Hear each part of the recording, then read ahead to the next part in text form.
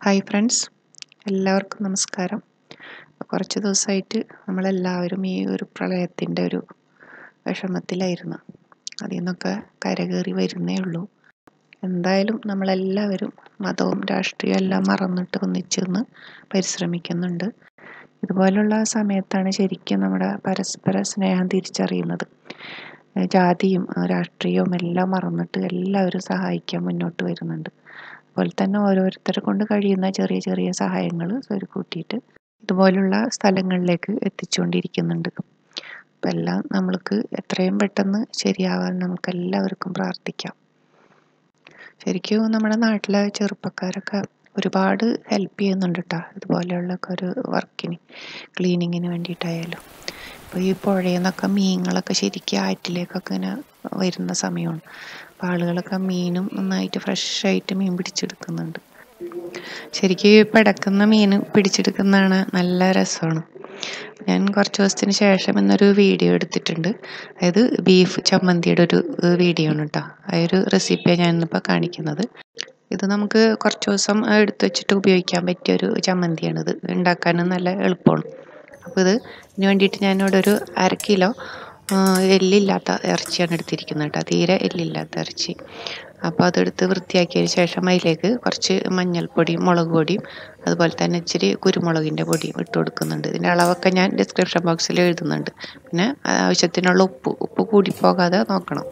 പിന്നെ ഒരല്പം വിനീഗർ സുർക്ക അത് ഒഴിച്ചിട്ട് തീരെ വെള്ളം ഒഴിക്കേണ്ട ആവശ്യമില്ല. കുറച്ച് കറിവേപ്പിലയും കൂടി ഇട്ടിട്ട് നമുക്കിതെല്ലാം കൂടെ ഒന്ന് മിക്സ് ചെയ്തിട്ട് കുക്കറിലിട്ട് തന്നെ വേവിച്ചെടുക്കാം.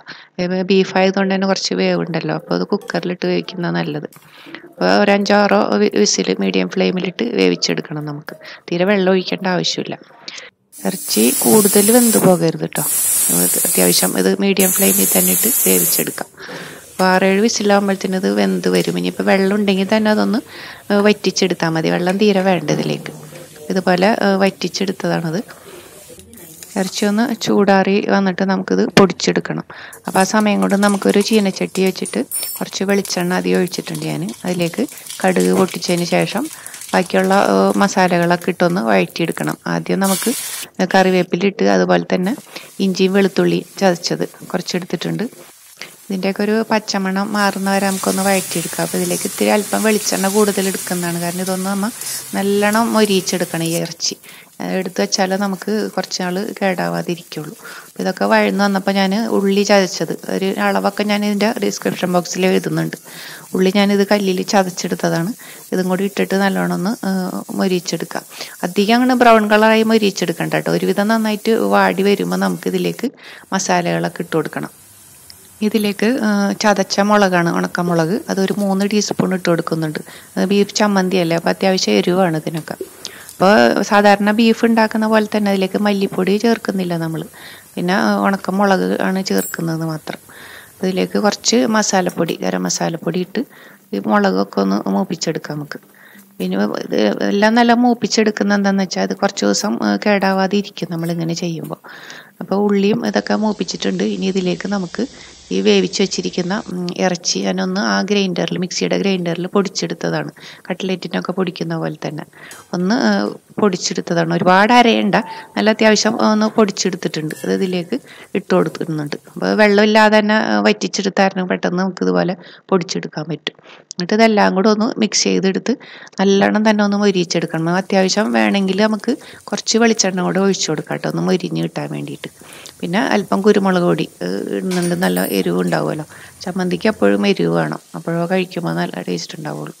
പിന്നെ ആവശ്യത്തിന് ഉപ്പ് വേണമെങ്കിൽ കുറച്ചും കൂടി ഇട്ട് കൊടുക്കാം. എല്ലാം കൂടെ ഒന്ന് മിക്സ് ചെയ്തതിന് ശേഷം നമുക്കിതുപോലെ നല്ലോണം ഇളക്കിയിട്ട് മൊരിച്ചെടുക്കാം. അപ്പോൾ ഇരുമ്പ് ചട്ടി ആകുമ്പോൾ മൊരിച്ചെടുക്കാൻ നല്ലതാണ്. പെട്ടെന്ന് തന്നെ മൊരിഞ്ഞ് കിട്ടും. നല്ല ചൂടായിരിക്കുമല്ലോ. അതല്ലെങ്കിൽ നോൺ സ്റ്റിക്കിന്റെ പാൻ എടുത്താലും മതി. അപ്പോൾ എന്തായാലും ഇത് അടി പിടിക്കാതെ നോക്കിയിട്ട് ഇളക്കി ഉണ്ടാക്കിയെടുക്കണം. ബീഫ് കൊണ്ട് നമ്മൾ ശരിക്കും അച്ചാറൊക്കെ ഉണ്ടാക്കാറുണ്ട് അല്ലേ അപ്പം അതിൽ നിന്ന് ചെറിയൊരു വ്യത്യാസം എന്ന് മാത്രമേ ഉള്ളൂ കേട്ടോ ഇപ്പം നന്നായിട്ട് തന്നെ ഡ്രൈ ആയിട്ട് വന്നിട്ടുണ്ട് കണ്ടോ? വെള്ളമെല്ലാം വറ്റി ഉള്ളിയും എല്ലാം മൊരിഞ്ഞ് കറിവേപ്പില എല്ലാം മൊരിഞ്ഞിട്ടുണ്ട് നല്ലോണം ഇതിൽ ചേർന്നിട്ട്. അതുകൊണ്ട് തന്നെ ഇത് കുറച്ച് ദിവസം എടുത്ത് വെക്കാനും പറ്റും.